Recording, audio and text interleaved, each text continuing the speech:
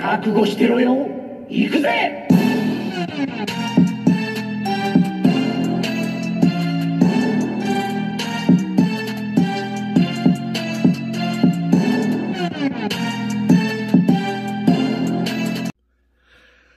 Welcome to Worldbreakerkou's Reviews. I'm your host, Worldbreakerkou, and today we're going to look at Studio Series 86, my full thoughts on this wave, as well as my full thoughts on the wave of Kingdom Transformers.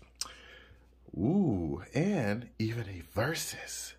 Which one do I think is better? Well, let's get into it. We'll start off with just the the odd elephant in the room.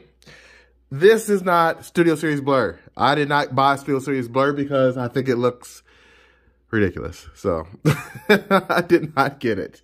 So maybe eventually I'll get it. So right now he'll be the stand-in. You just have to imagine that's that's uh, 86 Blur because I just really didn't like it. I don't care for it. If it goes on sale, maybe, but it's what it is. So everything else over here I do have from the Kingdom line. In fact, this is every single thing with the exception of this is Earthrise Prime. However, Earthrise Prime is the exact same as Kingdom Prime. So, you know, no flex zone. It's the same thing. All right. So let's start with looking at Kingdom as a whole. There was only one figure in all of Kingdom that I did not want, and that was a Blur. This is, again, Titans Return Blur. So I can't really comment on it too much, but suffice to say, I didn't dig it, so that's a one knock against the wave. However, um, we've got right here, we've got Kup.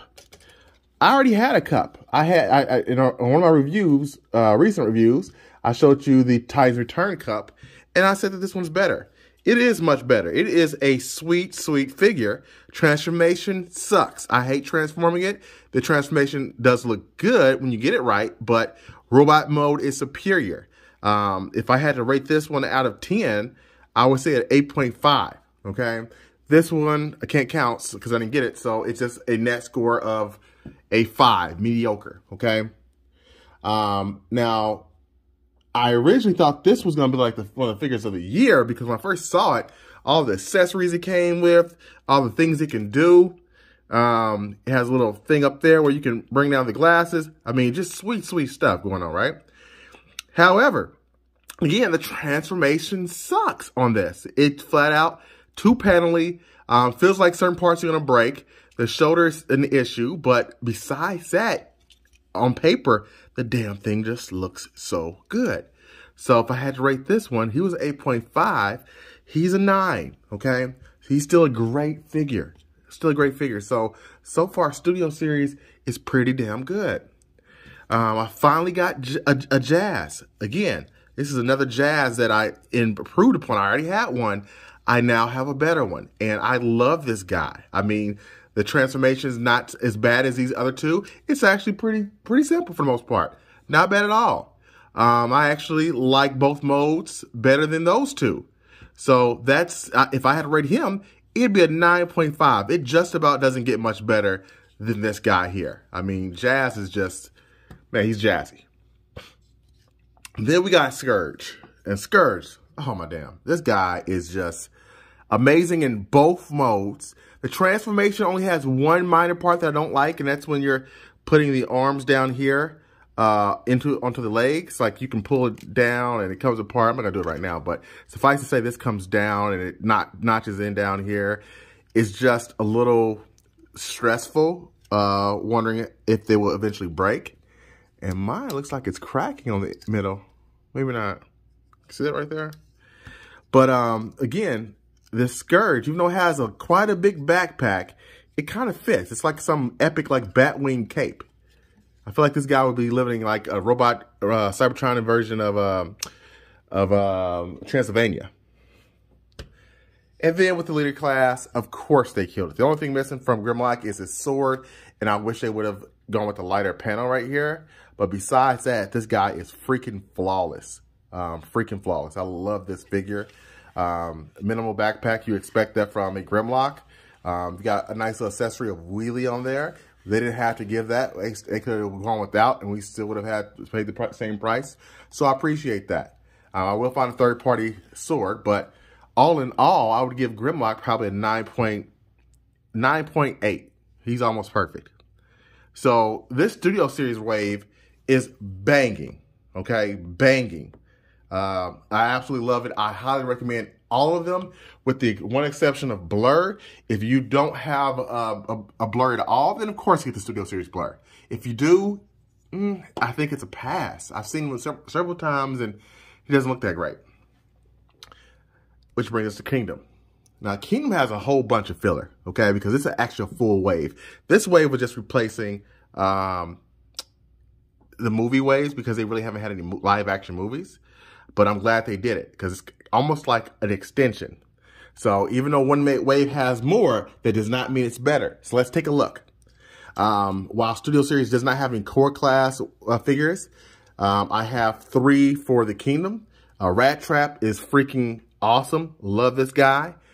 Uh, Prime is kind of, you'll see when I review him. He's not that great, okay? Just to be honest with you. Uh, I forget this guy's name, um, but he's decent. He's fun, okay? But if I had to buy them all over again, I don't think I would have bought them, if I'm being completely honest. So, uh, same thing with this guy. Um, I don't think I would have bought Paleo, Paleotrex um, had it not been for me just being hungry for some Transformers because he's he's cool. He got some cool accessories, but I don't really need them. Um, and I feel bad because it's a cool looking thing. It's just you get you get over it real quick. These two you get over really fast. This um, Rat Trap's a great figure. Uh, I'll probably have to rate him like an 8.5. I, I don't know. He, he's he's definitely a wanted figure. Definitely need it. Now, Black Arachnia, um, she's a great beast mode. Uh, however, the chest is really scary transforming this around because it feels like there's a notch underneath her boobs that might break off. Okay. So over time, I mean, when you get her transformed, she is excellent, but it is a little nerve wracking transforming her, especially in this area and how tight you got to be on some of those joints but she looks exceptional in both modes, and she's definitely a 9.5 out of 10. So you can't get much better for that. I'm going to skip over Prime because, well, he's Prime, so not really necessarily need it.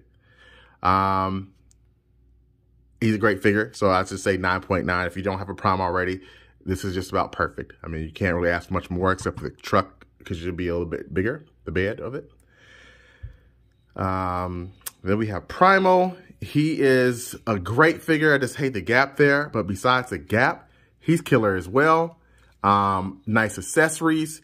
You've got the hidden gauntlets. You've got storage for your weapons. You've got the turrets up top. I mean, he's got just about everything. Sorry about that.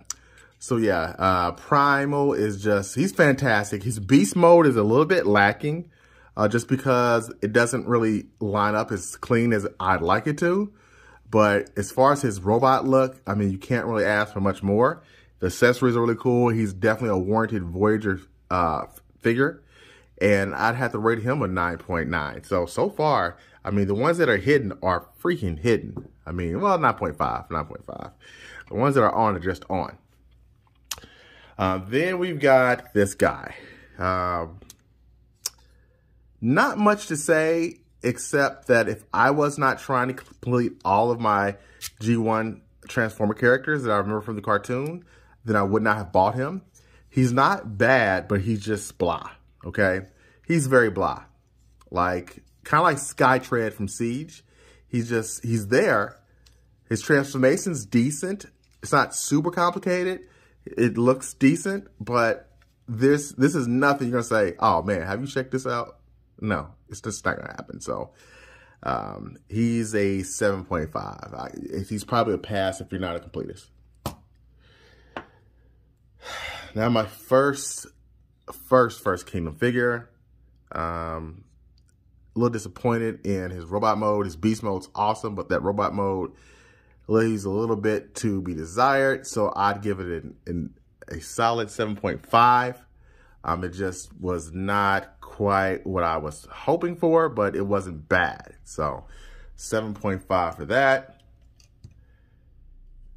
I definitely think this Kingdom Wave is amazing. And speaking of amazing, this is a 10. Um, Cyclonus is a 10. Like, no buts, ands, or about it. He is an, a 10. He is one of the best figures I've ever owned. Um, this is a must figure if you like Transformers at all. If you like robots at all. If you like design at all. He's just an amazing figure. Um, I cannot get over how much joy that figure gives me. Um, which brings me to my last figure of the Kingdom Wave. Another T-Rex leader class figure in the form of Megatron. Um, and I'm sorry, I didn't say that transformation. Transformation for Cyclonus is not bad. It's actually pretty simple. Um, so there's that. Megatron is hell. it's like expert level. I hate it. Um, but I love both modes. And this face is just killer, man. So all in all, if I had to say which which series was better, Kingdom versus um, Studio Series 86, gosh, it's hard. I'd probably say I'd probably lean more to Studio Series, to be honest. Just because they have more figures that are just like knockouts. Um, and not to say that Beast, that like, because I mean, again, we've got one, two, three, four knockout figures, but some of the rest are just kind of like, hmm, okay, not too bad. But over here, you're like, bam, bam, bam, bam, bam. You know, it's it's what it is. So even though it's less, I think there are they're they're winning right now. I said like that. I think right now that Studio Series 86 is winning. Okay. So, yeah. But thank you for watching. Until next time, peace and chicken grease.